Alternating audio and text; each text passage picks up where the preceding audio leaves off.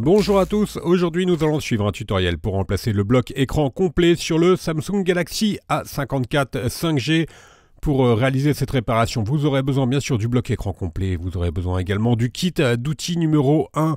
Vous retrouverez l'écran et le kit d'outils dans le kit complet de réparation qui comprend en plus de ces deux pièces le coussin chauffant qui va vous aider à ouvrir le téléphone et le patron d'aide au montage en version adhésive. Le patron papier il est quant à lui offert avec votre commande. Les retours sont gratuits, je vous le rappelle, sur Bricophone ainsi que l'assistance technique. Et n'oubliez pas le code de remise, c'est YouTube. Et il vous permet de bénéficier de 10% de remise sur la totalité de votre commande. C'est une réparation qui est assez longue, il faut compter environ 40 minutes. Et la difficulté est euh, notée 3 sur 5. Avant de commencer la réparation, n'oubliez pas d'éteindre votre téléphone et de retirer le rack SIM micro SD. Et on va commencer tout de suite par euh, la première étape, l'ouverture du A54 5G. Et on va devoir décoller la vitre arrière pour l'ouvrir. Pour décoller la vitre arrière, pour faciliter son décollage, plutôt on va devoir euh, chauffer tout le contour de celle-ci. Et pour cela, on vous propose deux méthodes. Première méthode, vous pouvez euh, utiliser le coussin chauffant que vous placez au micro-ondes et ensuite vous le positionnez sur la vitre arrière. Deuxième méthode, deuxième solution, vous pouvez également chauffer la vitre arrière en utilisant un mini décapeur thermique ou un sèche-cheveux. Donc euh, le décapeur thermique, bien sûr, vous le retrouverez également en vente sur euh, Bricophone. Dès que vous avez euh, suffisamment chauffé la vitre arrière, vous pouvez positionner la ventouse sur le bas de celle-ci. On va créer un point d'insertion ensuite en utilisant le médiateur en métal percé que l'on insère entre la vitre et le châssis du téléphone. Une fois que vous avez créé un point d'insertion, vous remplacez votre médiator en métal percé les médiators en plastique et on va tout simplement ensuite faire euh, glisser les médiateurs en plastique sur euh, tout le contour de la vitre arrière pour euh, pouvoir la décoller. Alors si vous avez déjà réparé un téléphone Android, c'est tout le temps la même opération quasiment. Donc il n'y a pas de surprise et la vitre arrière est assez facile à décoller. Et vous allez voir ensuite, lors de l'ouverture de la vitre arrière, il n'y a aucune nappe hein, qui maintient euh, celle-ci à la carte mère, donc on peut enlever directement la vitre sans plus de précaution. Et on a bien sûr ensuite un accès euh, complet à l'intérieur du téléphone et nous allons donc pouvoir passer à la deuxième étape où l'on va pouvoir euh, déconnecter la batterie. Pour cela, on va devoir retirer les 9 vis qui maintiennent le cache supérieur qui fait office d'antenne également. Alors ce sont des vis cruciformes, elles font toutes la même taille. Là encore, c'est une habitude sur les galaxies et donc vous pouvez les intervertir sans aucun problème. On déclipse le cache à l'aide du levier et ensuite on a un accès direct au connecteur de la batterie.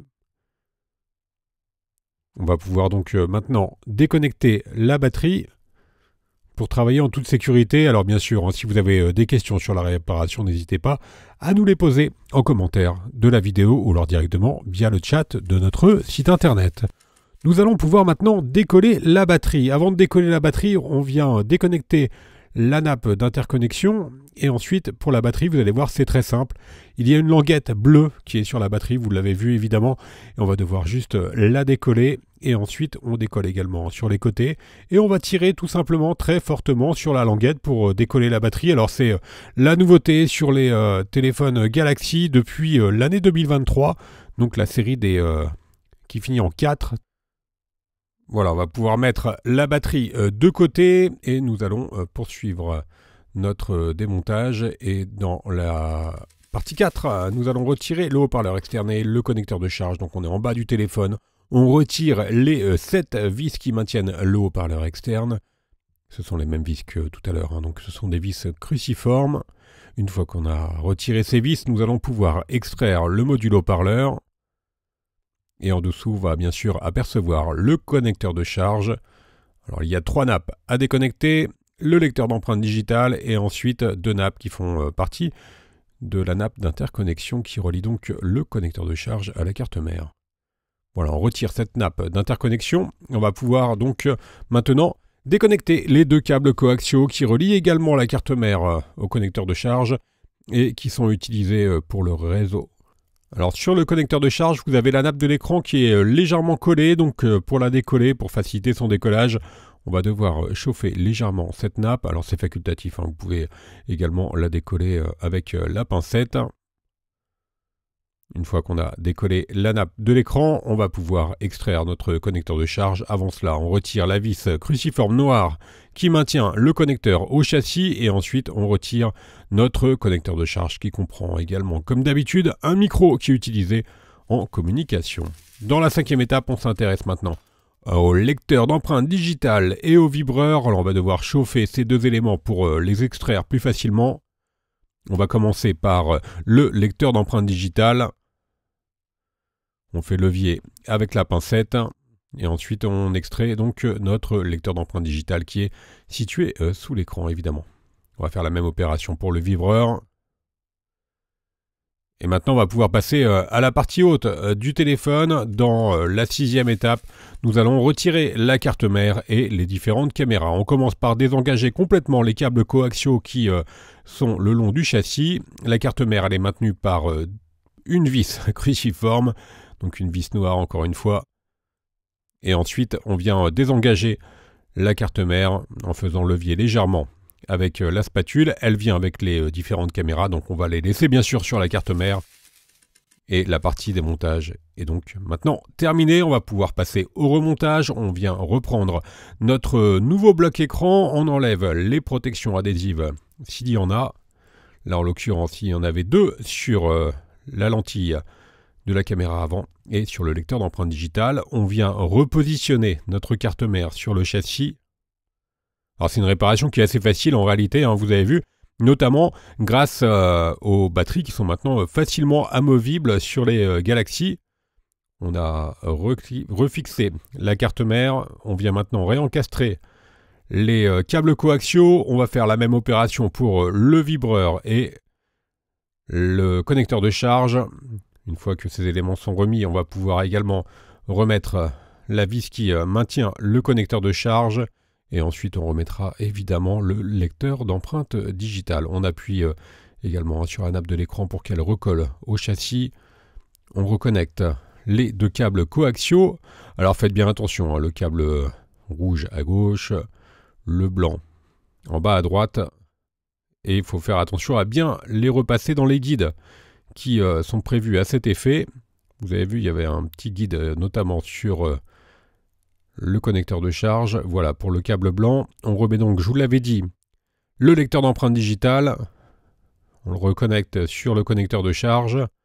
Et maintenant, il ne nous reste plus qu'à reconnecter les deux nappes d'interconnexion. Donc une nappe qui est directement connectée à l'écran, à la nappe de l'écran, et l'autre nappe au connecteur de charge. On reprend maintenant notre euh, haut-parleur que l'on vient refixer sur le châssis à l'aide des euh, sept vis cruciformes que l'on avait enlevées euh, tout à l'heure. Voilà pour la dernière. Maintenant, on reprend notre batterie. Alors, on réutilise hein, bien sûr les adhésifs d'origine, pas besoin de la recoller. Nous reconnectons la nappe d'interconnexion. En dernier, on reconnecte la batterie. On repositionne maintenant la plaquette qui fait office d'antenne. On vérifie le bon ajustement de celle-ci et des caméras. Quand tout est OK, il ne nous reste plus qu'à refixer le cache antenne. On vérifie euh, les caméras sont correctement encastrées dans le châssis et ensuite on remet les vis cruciformes que l'on avait enlevées en tout début de tutoriel. Avant de finaliser la réparation et de remettre la vitre arrière, on va tester notre nouvel écran. Donc on rallume le téléphone, on teste l'affichage et le tactile, tout est ok, on va pouvoir éteindre le téléphone et finaliser donc la réparation. Pour cela, on va devoir nettoyer notre vitre arrière en enlevant les euh, anciens adhésifs de celle-ci et ensuite, nous, on va recoller la vitre arrière avec la colle qui est incluse dans le kit d'outils. Il s'agit de la colle euh, B7000. Elle est bien sûr, donc je vous le disais, incluse dans le kit d'outils. Elle comprend un applicateur qui vous permet de bien positionner la colle sur euh, tout le contour du châssis. Vous pouvez également, si vous le souhaitez, bien sûr, utiliser des euh, adhésifs pour vitre arrière que vous retrouvez en vente sur Bricophone. On remet la vitre sur le châssis. On va maintenant mettre le téléphone sous presse pendant environ une demi-heure, le temps que la colle fasse effet. La réparation est presque terminée. Vous pouvez nettoyer éventuellement les euh, surplus de colle avec une lingette humide.